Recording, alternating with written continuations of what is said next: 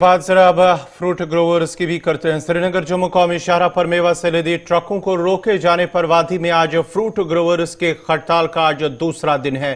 और वादी की मंडियों को आज तालाबंद रखा गया है। मेवा सनत से जुड़े लोगों का कहना है कि श्रीनगर, जम्मू नेशनल हाईवे पर मेवा से लदी ट्रकों को कई दिनों तक रोक के रखा जा रहा है, जिसकी वजह से न सिर्फ़ गाड़ियों में मेवा सड़ जाता है, खराब हो रहा है, बल्कि रोज़ाना करोड़ों रुपयों का नुकसान हो रहा है। एलजी इंतजामिया की जानब से अगर चौकाम को हिदायत भी दी गई थी कि मेवा से लदी ट्रकों को नेशनल हाईवे पर चलने की इजाज़त दी जाए, ताकि इसके बावजूद भी शाहरा पर कई दिनों से मेवा से लदी गाड़ियाँ दरमांदा है। जम्मू से आए हैं, श्रीनगर के लिए। हम दिन को निकले थे जम्मू से, रात को हम श्रीनगर पहुँच गए थे। बस उस, उसके बाद हम यहाँ आज हमें पाँच छः दिन हो गए।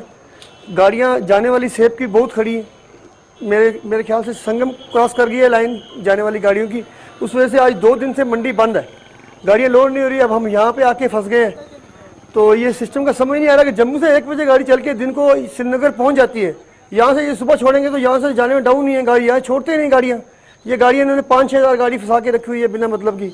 ना व्यापारी भी तंग है, उसको पैसा नहीं मिल रहा, गाड़ी वाला तंग है, उसको पैसा नहीं मिल रहा, आगे भाड़ा नहीं मिल रहा, माल खराब हो रहा है। हमारे लिए बड़ा मुश्किल हो गया, ये जो इनका सिस्टम है काजीगुंड का, ये बड़ा ख़राब है। ये डीएसपी सुना मैंने, वो भी गाड़ियाँ छोड़ नहीं रहा, यहाँ से गाड़ियाँ पास करवाते ही नहीं है ये। अमरनाथ यात्रा के टाइम कैसे पार होती थी? गाड़ियाँ निकलती थी तब ये पूरा सिस्टम था। अब सेब का सीज़न आया वो सिस्टम खत्म हो गया गाड़ियाँ सब खड़ी रोक देते हैं रास्ते में गाड़ी छोड़ते नहीं दो तीन सौ गाड़ी छोड़ते हैं उसके बाद गाड़ी खड़ी वो लाइन यहाँ तक आ गई व्यापारी भी परेशान हम भी परेशान आज हमें यहाँ पाँच छः दिन हो गए सोपर मंडी में खड़े हैं। दो दिन से मंडी बंद है। समझ नहीं आ रही क्या करेंगे गाड़ी की किस्तें हैं साठ साठ हज़ार सत्तर हज़ार रुपया वो भी ख़त्म हो रही हैं।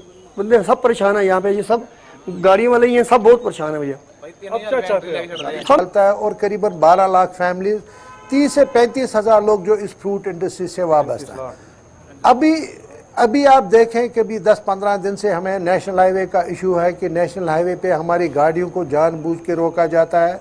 ये हमको मालूम नहीं है लेकिन ये कौन सी साजिश है किस साजिश के तहत ये ऐसा किया जाता है। आप देखें डाउन ट्रैफ़िक जब यहाँ से शुरू हो जाता है तो जाम हो जाता है लेकिन जब ऊपर की तरफ़ से, ऊपर की तरफ़ से कान आ जाए तो उसमें कोई जाम नहीं आ जाता है।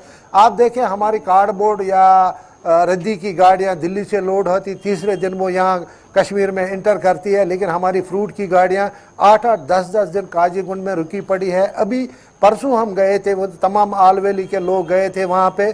आलवेली चेयरमैन थे, शुपियान था, पुलवामा था, पचार था, सोपोर, हंदवारा, जो भी मंडियाँ थी, सभी वहाँ पे थे। हमने देखा करीबन आठ से बारह हज़ार गाड़ियाँ जो खड़ी है उधर जो जिनको नहीं छोड़ा गया था। इस वजह से हमने आज प्रोटेस्ट की कॉल दी थी आलवेली की तरफ़ से। तमाम जो छठ है 10 नवंबर 15 नवंबर तो हमने बोला कंटिन्यू किसी भी सूरत में हमारे ट्रकों को ना रोका जाए। आउट कीजिए, जब वहाँ से डाउन ट्रैफ़िक के लिए कोई प्रॉब्लम नहीं है तो हमारी फ्रूट बरदार गाड़ियों के लिए क्यों प्रॉब्लम है? हमने बहुत बार इंतजामिया से अपील की, लाहौर मुंडा भी दो तीन बार गए, लेकिन ग्राउंड लेवल पर अगर हम देखें तो उसका कोई असर दिखाई नहीं दे रहा है। अगर ऐसी हालत रही तो आने वाले दिनों में हमारे पास कोई चारा नहीं, हम भूख हड़ताल पर जाएँगे।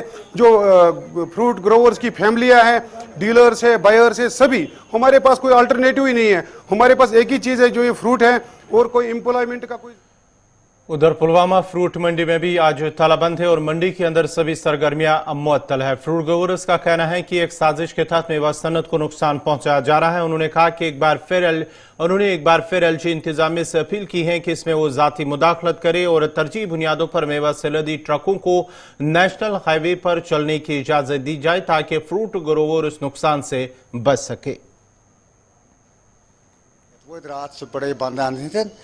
रात से बड़े बंद मुतालबा कि रास्त वात गाड़ सारे फसतन शन सतन दोन अठ दोन गाड़ रोजान बंद तथ खिलाफ यह एहतजाज अमन एहतजाज यह बदल कह त्रन यल तो ये रोज कारोबार चालू अम सत गवर्नमेंट तो नुकसान तो ट्रेडर कम कर मजूर बकायद सोरे बिहत नुकसान बोड़ जन ये गाड़ निवान नबरम हेवान पंजाब पंजाब मतलब हिंदुस्तान पे आम सन माल निमान घाट इन कट नतीज नान ये बाव डावन बाव डावन कोस माल तवानी तो तुम रास्ते त्रन यल तो करो कम।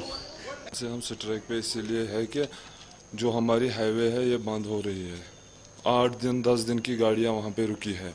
जो हमारा माल है, वो पूरा सड़ गया वहाँ पे। तो इसीलिए हम दो दिन की स्ट्राइक पे है।